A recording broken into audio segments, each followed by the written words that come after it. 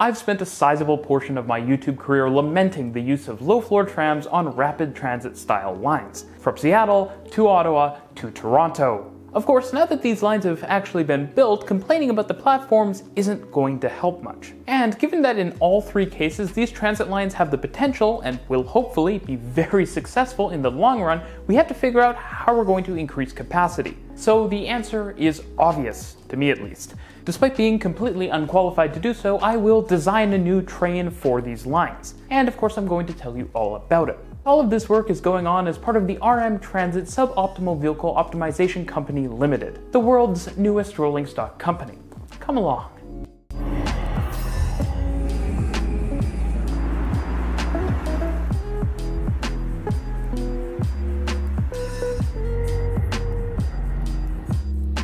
Trams are really cool, but they're probably best left on the surface for the most part. That so many different cities choose to put trams in tunnels or other grade separated corridors is unfortunate, but it does make for a great video topic. Could we design a better train for these lines to operate when the capacity requires it? Now, you might imagine something like this already exists in Europe or Asia, but the reality is it really doesn't.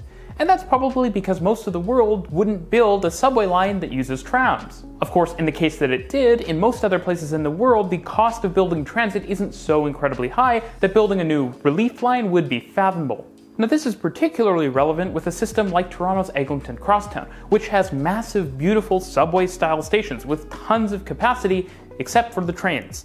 Oh, and by the way, if you enjoy videos like this, consider supporting the channel on Patreon. I'm slowing down a bit on videos, and with your support, I can bring you higher quality content on a regular basis, while keeping the critical flow of public transit content flowing. Check out the link in the video description. Now, I do have to say that I was fairly inspired for this video. The S-Tog isn't really low floor and it also isn't really a metro, but what it does do is give credence to the idea that with a sufficiently large system, there is justification to design a semi-custom piece of rolling stock that could actually be really good. There's also the point to be made that if 100 meter platforms or 90 meter platforms are a lot for a metro, as I've suggested with the Ontario line, then there's no reason they couldn't be a lot for a low floor train if we could design it in such a way that it was sufficiently high capacity. The issue is today's trains just aren't suitable. What do I mean though by suitable? Now, depending on how deep down the rabbit hole you've gone, I've made a lot of videos talking about why light rail vehicles, while attractive and comfortable for some services, aren't really conducive to a high capacity metro style operation. And that's an important consideration because cities of over a million, Ottawa and Seattle, have made low floor light rail lines the main public transit trunk in their cities. The issues with combining what are essentially trams into longer trains for subway style operation are really multifaceted. But the first one worth pointing out is that there's often a lot of dead space wasted by the cabs on the trains. In Seattle, for example, a four car long train has six cabs that go totally unused, not to mention the space between the cab on one tram and the cab on the next. Now, it is the case that some cities like Portland and Toronto sort of try to solve this issue by ordering trams that have cabs on one end and more seating on the other end, but if you're doing that, you might as well just create one bigger vehicle. Now, to be fair, one of the reasons that this hasn't happened historically is at least supposedly because operationally it's easier to have smaller units. If a car crashes into your light rail train, which is possible since a lot of these systems do operate for at least part of their routes at grade, it's a lot less good to have a giant train, which makes up a lot more of your fleet, broken and out of service than having one train damaged that can be separated out and maintained separately. Another issue is the bogies. In a design like those used on Seattle's trains, you either have an unpowered bogie in the central section of the LRV, or you have an inaccessible elevated section above the bogie where you need to take several steps to get up to it. The lines in Ontario use 100% low floor vehicles, but these come with their own challenges. Notably, the bogies incur into the space in the cabin, which means less standing room replaced with awkwardly spaced seats, and a narrow passageway that isn't super accessible.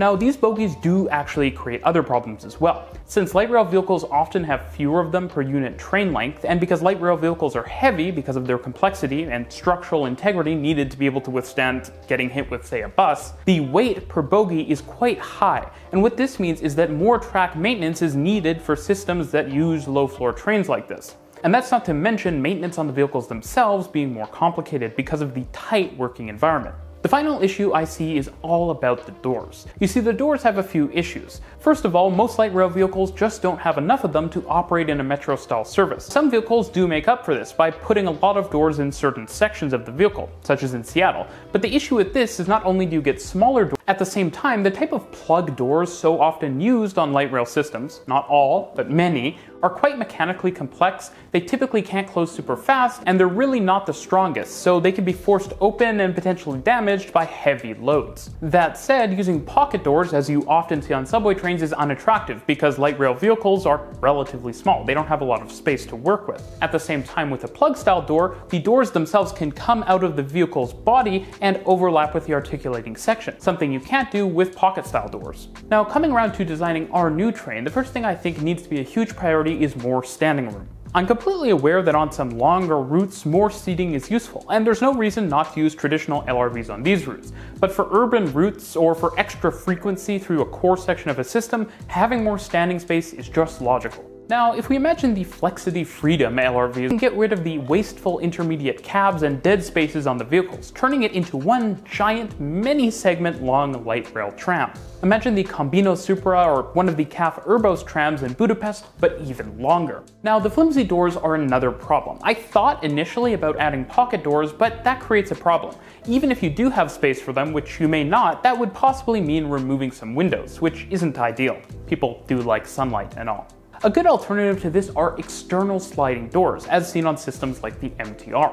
These should work really well. They don't seal as nicely as pocket doors or as plug style doors, but they also take up less space than pocket style doors while being a lot more reliable and fast closing than plug style doors. Of course, the doors could also be wider than you typically see on current LRVs, actually coming around to the idea that this may not be optimal two smaller doors may actually be worse than one big one. And so what I would suggest is putting one big external sliding door set on each intermediate segment. This should solve most of our door problems, at least the quality ones. Quantity is another problem.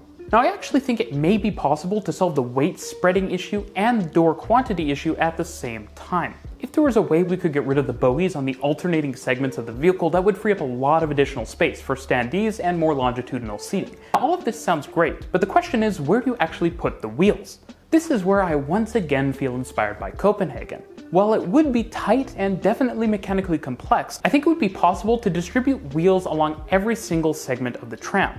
Instead of having bogies on the alternating segments, we would have four wheels in the corners of every individual segment. Again, this is rather unconventional, but it is akin to what Copenhagen does with its S-Tog trains, having only one axle on most of the carriages. These wheels likely wouldn't be connected to a single axle, which again, would be complicated, but this is the price of designing a really high capacity low floor train. Now, fitting in motors is legitimately a possible issue, but fortunately longitudinal seating adjacent to the doors in each segment should give us lots of room to work with underneath the seats. Now, in any case, having more vehicles of this style would likely increase the mechanical complexity and the amount of maintenance you needed to do on vehicles. But this is a price that we're probably going to be willing to accept if we need the capacity. At the same time, acquiring more vehicles for more capacity is a pretty normal thing anyways. In this case, we'd probably just need a little extra for extra maintenance downtime. With all of the design decisions out of the way, I give you the RM Transit High Capacity Low Floor Metro Train. Well, a traditional triple consist of Flexity Freedoms would give you 9 double doors per side, the RHC LFMT would give you 14. And these doors would be larger,